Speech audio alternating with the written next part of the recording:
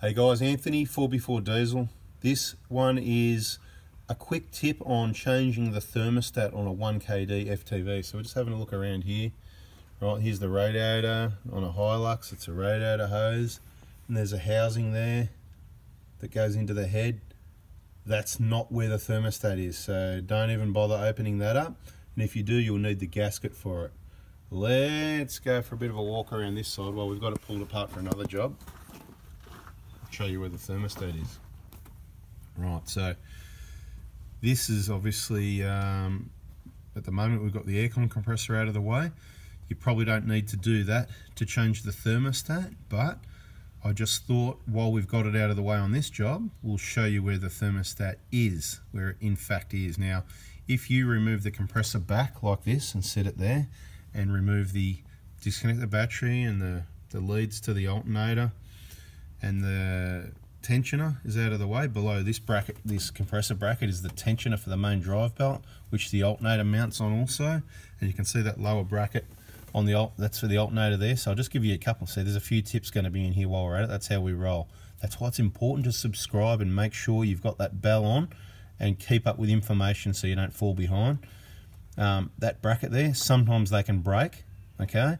Normally the bolts don't fall out and go missing on their own, but that can happen if someone's worked on it and left it loose. But those brackets, they can break. Beware of that. So part of your service, if you can, have a look up from underneath or grab your alternator every now and then. If you see it wobbling around a lot, check out that bracket, okay? And same thing on the Prados. Uh, it might be a different bracket, but same thing, they can break.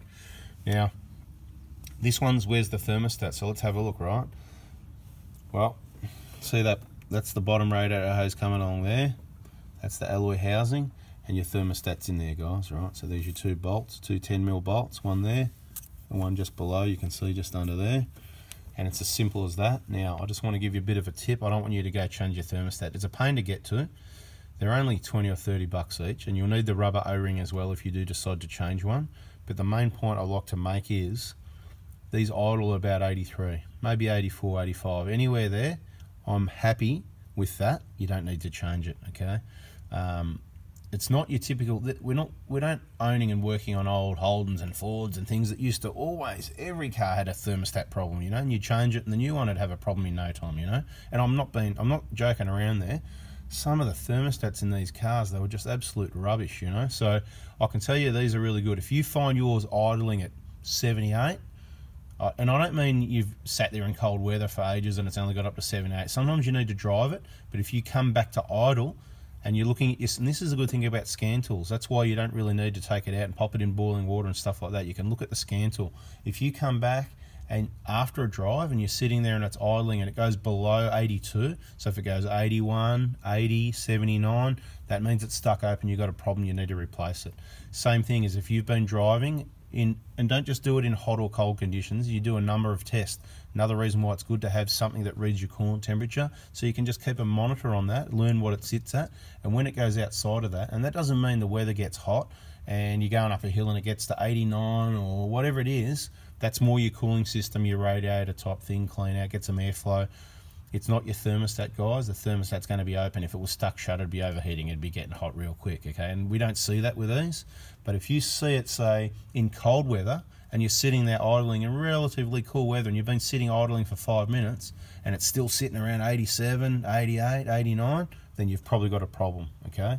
So there's a bit of a guide to when to replace your thermostat. Not very often whatsoever.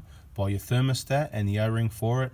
Um, you're going to need two bottles of super long life coolant um, may as well drop it all out. And when I say give it a flush, just get what you can out. Don't put dirty water into the system and contaminate the system water down the mix. You never get all the coolant out.